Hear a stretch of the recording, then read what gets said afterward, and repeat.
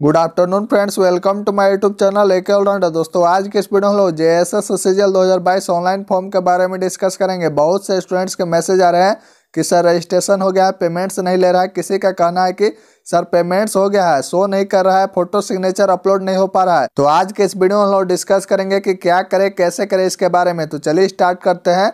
Friends, start करने से पहले अगर आप हमारे चैनल पर नए हैं, चैनल को सब्सक्राइब कर लेंगे, बेल आइकन को प्रेस कर लेंगे। तो चलिए स्टार्ट करते हैं।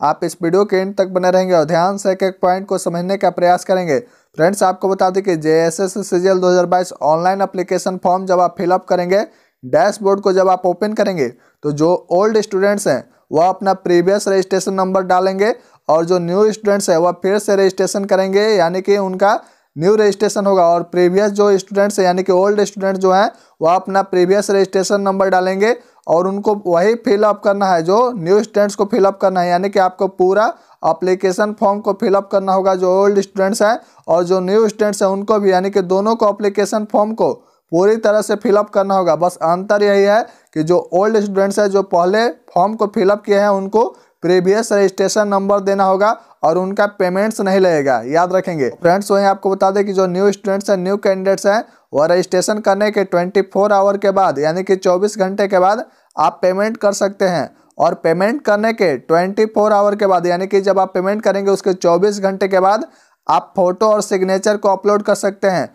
फ़ोटो जो होगा, वह 20 से 50 के के बीच में होना चाहिए और सिग्नेचर 10 से 20 के बी के बीच में होना चाहिए। याद रखेंगे। और फ्रेंड्स, वहीं आपको बता दें कि सबसे ज़्यादा जो क्वेश्चंस पूछे गए थे पेमेंट से रिलेटेड कि, सर, पेमेंट तो डन हो गया, लेकिन शो नहीं कर रहा है। यानी कि पेमेंट जो है, वह डन हो गया है, लेकिन रिस्पॉन्ड नहीं कर रहा है। अदर ऑप्शन जो है, वह नहीं खुल रहा है। इसके बारे में सबसे ज़्यादा क्वेश्चन पूछे गए थे। तो चलिए स्टार्ट करते हैं आज के इस वीडियो में।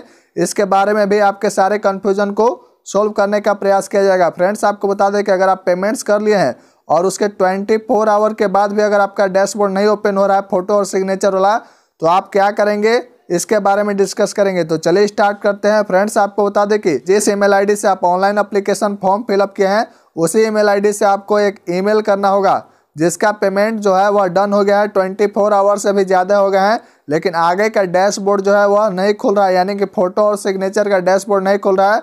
उनके लिए यह प्रोसेस है। आपको बता दें कि सबसे पहले आपको ईमेल खोलना है। ईमेल खोलने के बाद आपको क्या करना है? कॉम्पोज पे क्लिक करना है। कॉम्पोज पे जब आप क्लिक करेंगे तो आपको यहाँ पे एक सिंबल नज़र आ रहा होगा।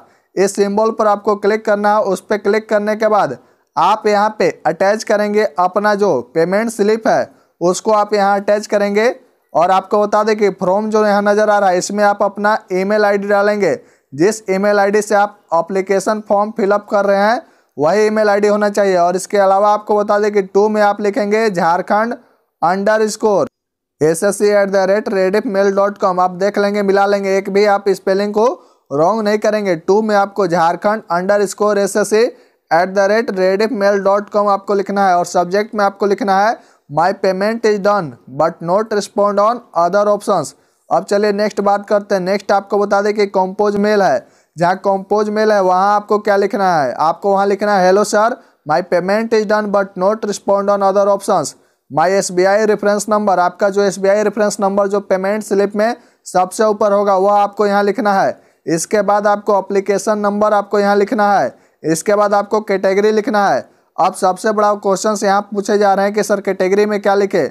आपको बता दें कि कैटेगरी में आप अपना एग्ज़ाम का नाम लिखेंगे, यानी कि जे जे जी एल सी सी दो हज़ार इक्कीस लिखेंगे यहाँ पे कैटेगरी में और माई नेम में आप अपना नाम कैपिटल में लिख देंगे, यानी कि पूरा फुल नाम लिखेंगे कैपिटल में अपना, याद रखेंगे। नेक्स्ट और मोस्ट इंपोर्टेंट पॉइंट जो आपको ध्यान में रखना है, आप अपना पेमेंट स्लिप को अवश्य अटैच करेंगे। आप इस टैब पे क्लिक करेंगे, यहाँ पे क्लिक करने के बाद अपना पेमेंट स्लिप को अवश्य अटैच करेंगे और इसके बाद इस ऑप्शन पे, इस पे क्लिक करेंगे, यानी कि यहाँ जैसे ही आप क्लिक करेंगे, आपका मेल आयोग के पास चला जाएगा और एक घंटे का इंतज़ार करना है। कम से कम एक घंटे का आपको इंतज़ार करना है और आप एक से डेढ़ घंटे वेट करने के बाद जब फिर से लॉगिन करेंगे तो आपका पेमेंट सक्सेसफुल हो जाएगा और नेक्स्ट टैब खुल जाएगा जहाँ पे आप फ़ोटो और सिग्नेचर अपलोड करके डिक्लेरेशन सबमिट करते हुए आप अप्लीकेशन का जो प्रिंट आउट है उसे आप प्राप्त कर सकते हैं और आपका अप्लीकेशन फॉर्म पूरी तरीके से सबमिट हो जाएगा।